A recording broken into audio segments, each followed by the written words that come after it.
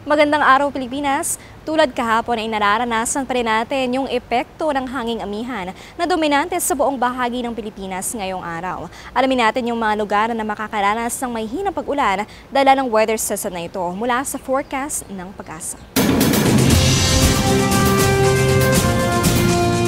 Sa Luzon, malaking bahagi nito ang makakaranas ng maaliwalas sa panahon. Kabilang na nga dito ang Metro Manila. Ang temperatura dyan ay nasa pagitan ng 21 hanggang sa 31 degrees Celsius. Pero kung mapapansin natin, posible yung ilang mga pag-ulan, lalo na tuwing hapon o gabi. Kaya laging bitbitin ng payong o kapote, pananggas sa mga posibleng pag-ulan, pati na rin sa matinding sikat ng araw. Dahil ang temperatura, ito ay maaring pumalo ng hanggang sa 31 degrees Celsius. Ang temperatura man sa Baguio City ay medyo mababa. Ito ay nasa pagitan lamang ng 12 hanggang sa 25 degrees Celsius. I-check naman natin ang weather conditions sa Visayas kung saan nararanasan ang epekto ng hanging amihan. Mararanasan sa Tacloban, Iloilo, Bacolod, gayon din sa Metro Cebu ang maulap na kalangitan at ilang mga mahihinang pag-ulan na dala ng weather system na hanging amihan. Ang temperatura sa mga lugar na ito ay maglalaro sa pagitan ng 22 hanggang sa 29 degrees Celsius. Dako naman tayo sa Mindanao kung saan magandang panahon ang maaasahan. Kabilang na nga dito ang Cagayan de Oro, Metro Davao, gayon din sa Zamboanga. Pero sa hapon na gabi ay posible na yung ilang mga pag-ulan. Ito ay epekto naman ng localized thunderstorms. Ang temperatura sa mga lugar na ito ay nasa pagitan ng 23 hanggang sa 31 degrees Celsius.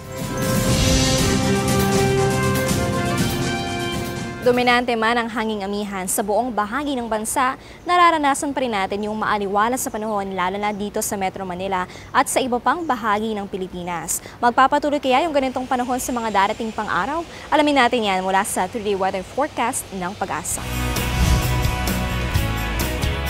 Sa Baguio City, sa mga nakabakasyon pa, over this weekend, magandang panahon ang maaasahan sa mga susunod na tatlong araw. Pero sa lunes, posible yung ilang mga maihinang pag-ulan anumang oras sa araw na iyon.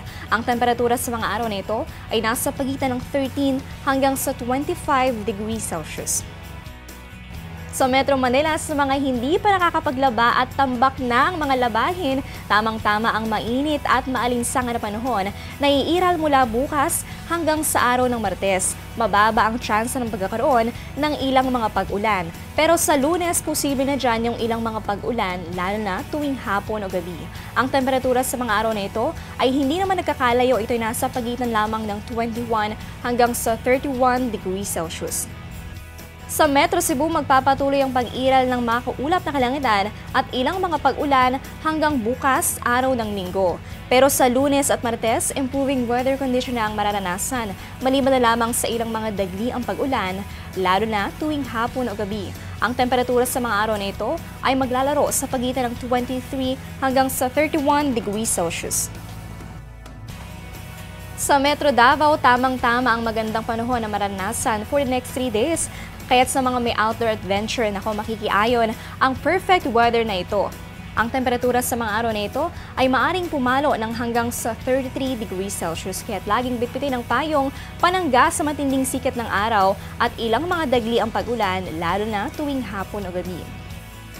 Sa Zamboanga City, mainit at maalinsangan na panahon ang maaasahan for the next 3 days. Pero posible yung ilang mga pag-ulan, lalo na tuwing hapon o gabi.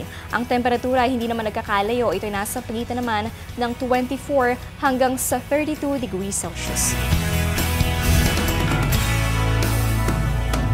At yan ang latest sa lagay ng panahon. Mula dito sa Pag-asa Weather and Flood Forecasting Center, ito ang Panahon TV kung saan walang pinipiling panahon ang pagbibigay impormasyon.